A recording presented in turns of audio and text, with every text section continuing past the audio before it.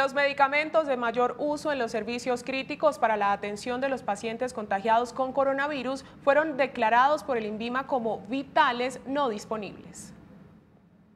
Ante la alerta de una posible escasez de sedantes emitida por la Sociedad Colombiana de Anestesiología, el Instituto Nacional de Vigilancia de Medicamentos y Alimentos confirmó que se logró identificar una lista de medicamentos que son de carácter necesario y que podrían escasear dada la emergencia sanitaria. 18 productos como vitales no disponibles.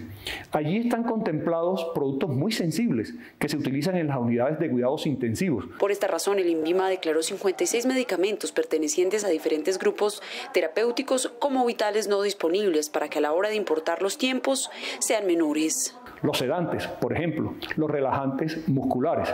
¿Y qué significa que hoy estos productos sean declarados como vitales no disponibles?